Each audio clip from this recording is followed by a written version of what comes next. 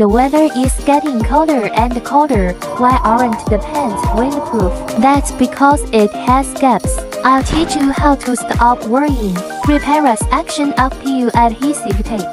Press with a press or iron. Just to it. The earth friends should pay more attention.